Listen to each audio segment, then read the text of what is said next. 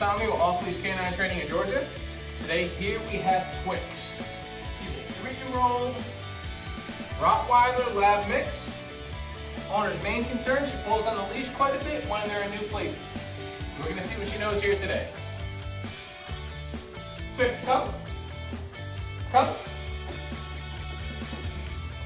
Twix, sit. Good girl. Twix, down. Down.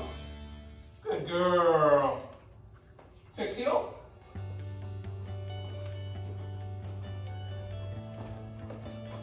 Twix, place.